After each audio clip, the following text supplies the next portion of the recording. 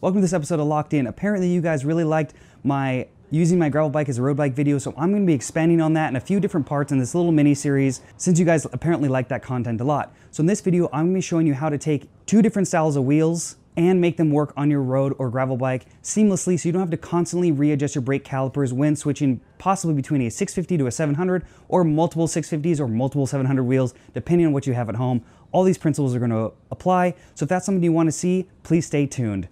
So in this video, I'm gonna be showing you how I'm gonna be taking my Centerlock Industry 9 Ultralight 650 wheels that are currently on my Cobalt Warhawk and then making it seamlessly work with my 700C set of wheels. Now these are a Industry 9 hub, but they are a 6 bolt and they do have different styles of rotors. And this does make a compatibility issue with me having to adjust my front and rear caliper every single time I switch this out. So I'm gonna give you some tips and tricks on what you're actually gonna need to do this. So my first little tip is you're gonna need a set of brake rotor shims. Now they do make shims for center lock rotors and six bolt rotors, but I have to say it is a lot easier to find 6 bolt rotor shims than it is to find center locks. So if you have two wheel sets, I would definitely firstly recommend to set them up with the center lock rotors and wheels, and then shim your 6 bolt rotors. Now, if you cannot do that because you have two center lock wheels, then you're gonna need to order some center lock rotor shims. I will link both of those in the description below if I can find some center lock since they are harder to find. Six bolts are a lot easier. So keep in mind, these shims are going to push the rotor away from your hub.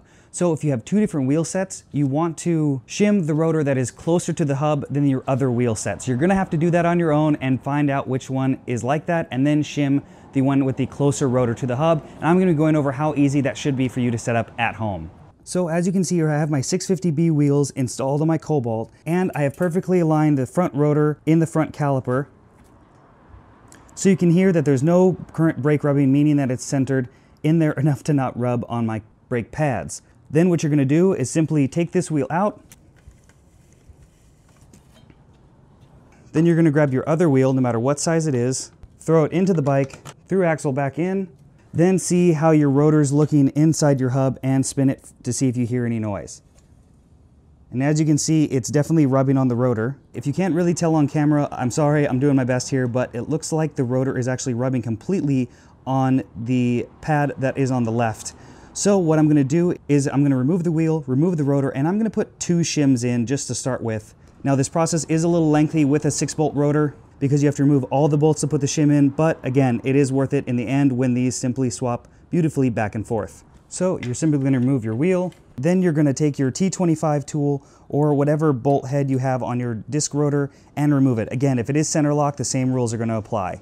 So then you're gonna basically clean your surface or re-grease your center lock hub if needed, but mine's still pretty clean. Then you're gonna simply add your shims. Again, I would always start with at least one or two. I believe these are half millimeter or 0.25 millimeter. I'll put it on the screen, which, whichever they are exactly.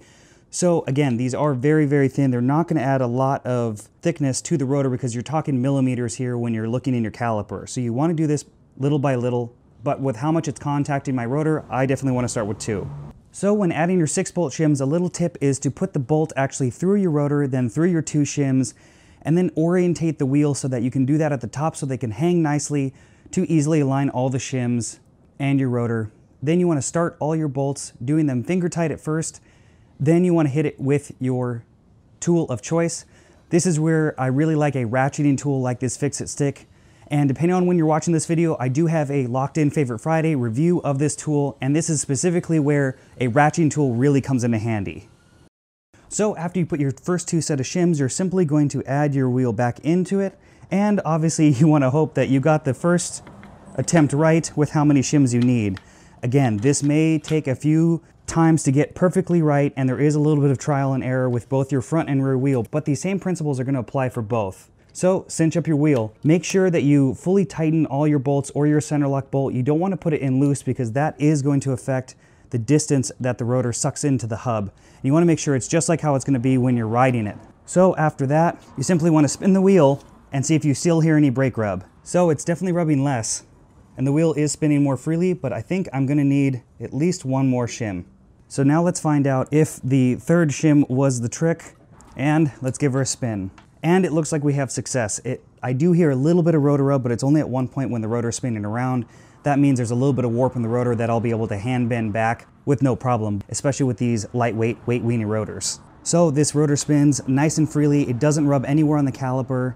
And you can see this wheel is rolling basically forever. And that's basically it. So essentially that's all you're gonna have to do to align your wheel. Now I did only show you the front wheel in this video, but you're gonna be able to apply those same principles to your rear wheel on your bike.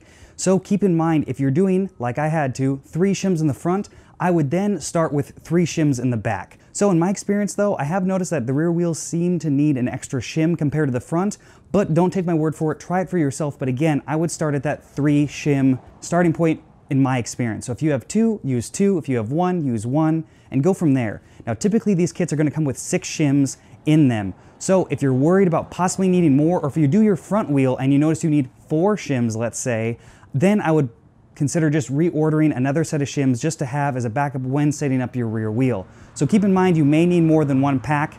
Also, a side note, when you're getting center lock shims, those for whatever reason tend to only come with four packs of shims in them. Don't know why they don't come with more than that. Maybe it's because you can't do more than three or four in a rotor.